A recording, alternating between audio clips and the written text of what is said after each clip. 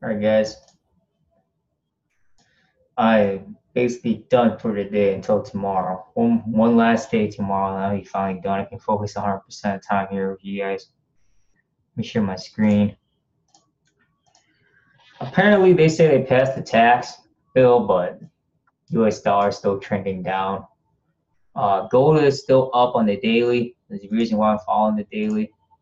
I mean, you can see it's been creating up uh, an uptrend on the four hour here.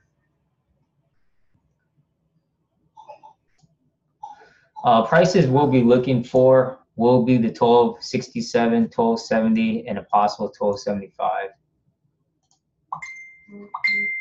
Damn. Okay, you guys are like, okay. Okay, so let's look at the dollar index.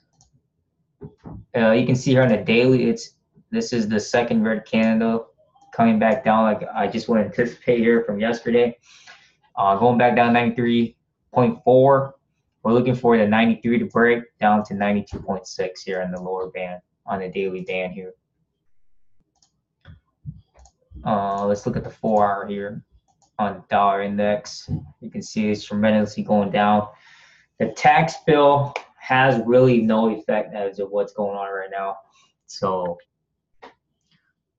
either way, whether it's passed or not, there's still a lot of work that needs to be improved and needs to be worked on, especially with with the corporate tax cuts and the business taxes.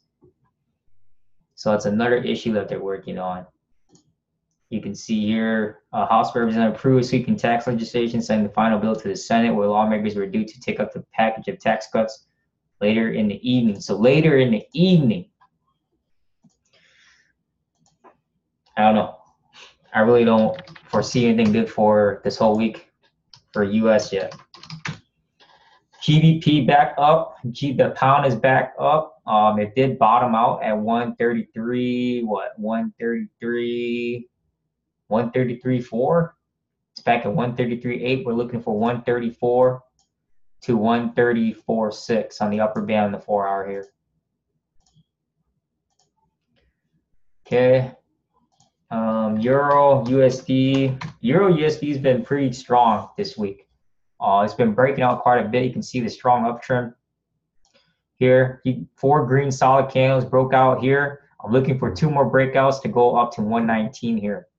Okay, looking for 119 for tonight. If not, a 118, uh, 118 600, 118 800 here. That's what I'd be looking at.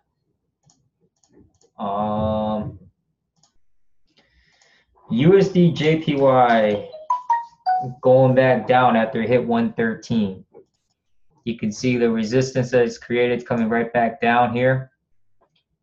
I am expecting to sell it for the BOJ, the Bank of Japan. They're releasing an interest rate decision and a monetary policy meeting.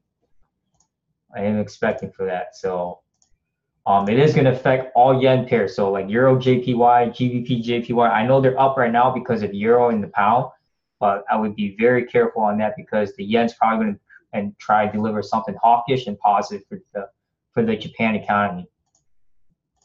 Um, I won't send any um, any red news alerts until the last hour. Uh, let's see here. USD CAD is dropping back down. It did hit 1291, 1292 but now it's back down to 1287, trending back down. We are looking for 1276 for the lower band price of 1276, 1278. USD Swiss franc is going back down. Uh, it's at it's at 98.5, but we're looking for 98.4 and 98.2. Gold, yeah, like I said, gold. Uh, I don't know why I have gold on here. We are always talking about gold and dollar index already. Like I said, I'm expecting, like I said, the dollar is trending right back down where where it started. It couldn't, like I said, it barely, it barely, it did go up to 94, but it didn't stay there. And you can see where it's downtrending. So we're looking for a strong downtrend for the week for U.S. dollar and the USD pairs. And um, euro has been really strong this week. Uh, New Zealand's been pretty strong. Uh, Uh, let's see. Uh, the pound's up and down. I mean, there is still some UK talks. Uh, other than that, uh, Euro's been by far the strongest gains for positive traction. So, along with Euro JPY. Other than that, um, New Zealand is the second strongest that I've seen so far, and gold gold's been pretty strong too, but it's been hovering around 1260. So uh, waiting for that dollar index to break down to 92.9, 92 uh, 92.8 around there.